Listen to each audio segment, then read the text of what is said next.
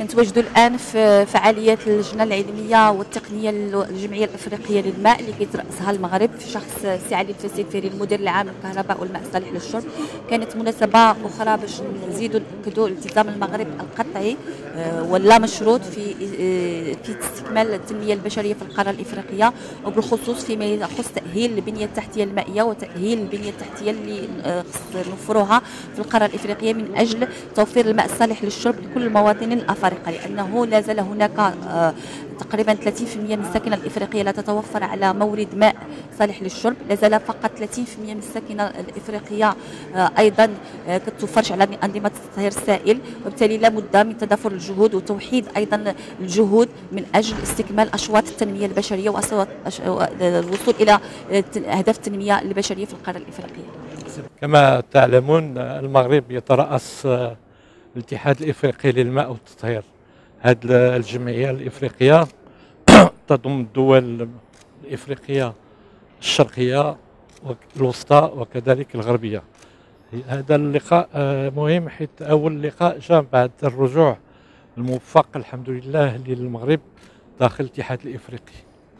وكما تعلمون تدخل صاحب الجلالة نصره الله آه، جاء بمنظور جديد بالنسبة للتعاون جنوب جنوب. والنجاح المغرب في هذا القطاع بالنسبة للماء منذ سنوات وخصوصا ال 15 سنة الأخيرة الانجازات المهمة مع تعميم تزويد بالماء الصالح للشرب على الصعيد القروي 100% من التزويد على الصعيد الحضري البرامج الضخمة في ميدان تطهير السائل. جميع المدن عندها مشاريع بالنسبة للعمل آه، في هذا الميدان الهام اللي كان عنده تأثير سلبي لا على الصحة وعلى على الجودة ديال المياه آه، على الصعيد لا السدود ولا المياه الجوفية.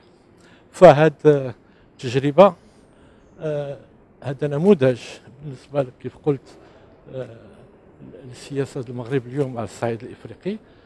نموذج ناجح. فالعمل ديالنا مع هذه الدول وعدة دول تستفيد من الخبرة المغربية لا بالنسبة لإنجاز السدود ولا بالنسبة لتدبير الماء الصالح للشرب وتدبير كذلك المشاريع ديال تطهير السائل. آه بالنسبة للتمويل هذه نقطة مهمة. آه أغلب آه التعاون الدولي والأبناك كالبنك الإفريقي والبنك الإسلامي والبنك الأبناك التنموية. تعطي للمغرب إمكانية جديدة للتعاون مع الدول لإنجاز مشاريعهم. فلما المكتب الوطني للماء الصحي الشرب والكهرباء ينجز مشروع ويقدمه للتمويل فتكون والحمد لله نجاح بالنسبة للموارد آه، المالية لهذه المشاريع. فأنتم تشوفوا الجولات جولات صاحب الجلالة نصر الله على الصعيد. لا الإفريقية آه، الغربية ولا الإفريقية آه، الجنوبية أعطت ثمارها وعدة طلبات اليوم بالنسبة للمغرب لدعم تحسين هاد هاد الاشكاليه ديال آه، الماء الصحي للشرب وتطهير السائل.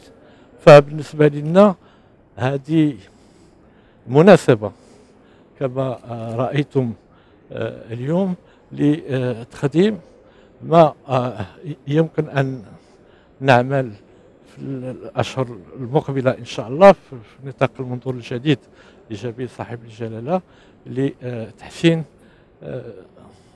تعاون جنوب جنوب اللي هو الحل الحقيقي باش الأمور تطور على الصعيد الإفريقي.